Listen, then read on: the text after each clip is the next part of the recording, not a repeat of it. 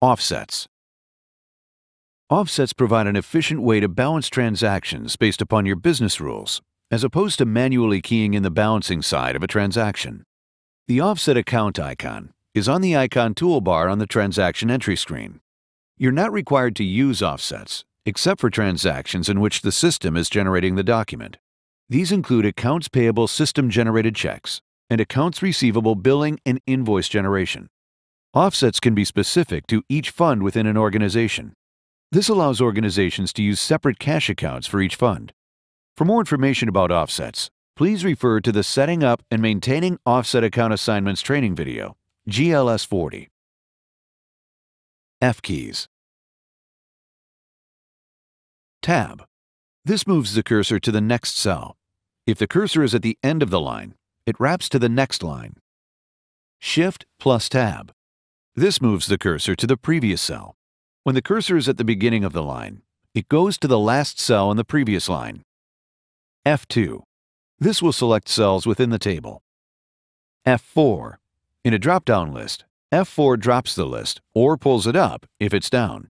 In a date or currency field, F4 will display the calendar or calculator. F5. In a table, this key copies the contents of the cell immediately above it into the active cell. F6. In a table, this key copies the contents of the row immediately above into the active row. Save Form Layout Save Form Layout is found in Customize Workstation settings and is the first option under the Preference tab. Select this option to save your form settings, including the size and or position of a form, or the width of the columns. The next time you open the form, it will be the same size and position as when it was last closed. This option functions similar to Excel by allowing you to adjust and reorder columns. To learn more about customizing your workstation settings, please refer to the Customize Workstation Settings training video, GEN 05.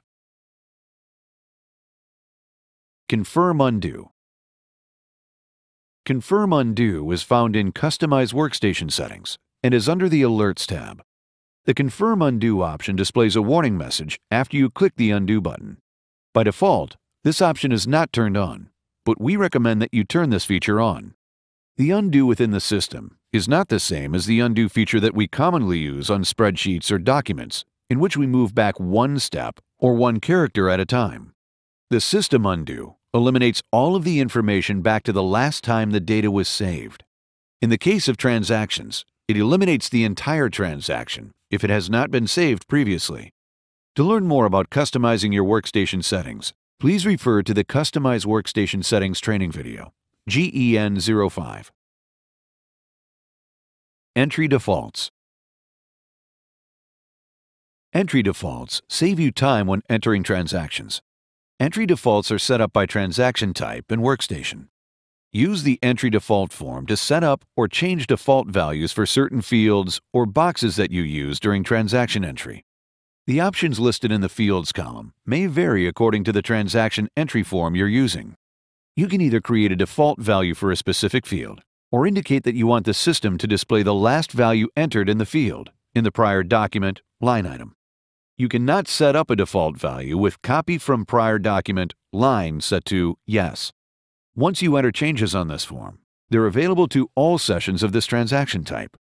However, if you reinstall the system, your defaults need to be redefined. If you regularly enter various types of transactions, such as journal vouchers, accounts payable, or other types, the entry defaults will need to be set up for each one separately. Since entry defaults are also specific to each workstation, your entry defaults will have no effect on other users. True North Training. Never feel lost again.